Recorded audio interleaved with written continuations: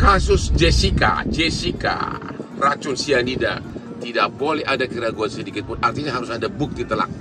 Publik kembali dibuat bertanya-tanya mengenai kasus pembunuhan kopi sianida yang menyebabkan Jessica Kumala Wongso di penjara. Kasus ini kembali mencuat ke publik setelah film dokumenternya ditayangkan oleh Netflix sejak 28 September 2023 lalu. Pengacara Kodang Hotman Paris pun menawarkan solusi untuk mengeluarkan Jessica Kumala Wongso dari penjara. Hotman Paris sampai Rabu 4 Oktober 2023 secara khusus mengunggah sedikitnya 5 video yang berisi komentar terhadap kasus pembunuhan Wayan Mirna Salehin. Dalam kasus pembunuhan yang diduga terjadi di sebuah kafe di Jakarta Pusat tersebut, majelis hakim memvonis Jessica pidana 20 tahun penjara. Melalui sebuah video, Hotman Paris Sutapea memberikan solusi untuk membebaskan Jessica Kumala Wongso dari penjara. Bagaimana cara menyelamatkan Jessica yang difonis bersalah atas perbuatan yang belum tentu bersalah? Karena tingkat keputusannya sudah peninjauan kembali sudah tidak bisa diubah lagi, hujar Hotman Paris. Sebagai pengacara yang sudah belasan tahun berkarir, Hotman Paris tidak kurang akal.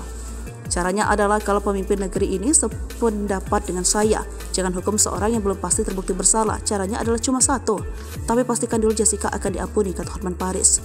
Menurut Hotman, sesuai hukum yang berlaku di Indonesia, satu-satunya cara agar Jessica bebas dari penjara adalah mengajukan gerasi kepada Presiden Joko Widodo alias Jokowi. Tetapi katanya sebelum gerasi diajukan, sebaiknya perlu dilakukan pendekatan sehingga bisa mengetahui bahwa Presiden akan mengabulkan gerasi tersebut. Minta Jessica ajukan gerasi ke Presiden, tapi betul dengan catatan, di belakang layar sudah ada komitmen gerasinya tersebut akan dikabulkan, tutur Hotman. Lobby-lobby perlu dilakukan terlebih dahulu agar tidak justru terjadi blunder buat Jessica. Karena apa? Gerasi artinya mengakui perbuatan. Kalau sampai Jessica permohonan gerasi yang ditolak, maka semakin blunder sebagai Jessica. Karena gerasi itu artinya mengakui perbuatan, katanya. Blunder yang dimaksud di sini artinya adalah sudah mengakui bersalah dan mengajukan gerasi tapi ditolak presiden. Menurut Hartman saat ini satu-satunya jalan untuk membebaskan Jessica secara hukum hanya mengajukan gerasi. Sudah tidak ada PK di atas PK, PK tidak bisa dua kali. Satu-satunya jalan gerasi dari Presiden, tapi dengan satu catatan bahwa Bapak Presiden akan dikabulkan gerasi jika nantinya diajukan oleh Jessica, ujarnya.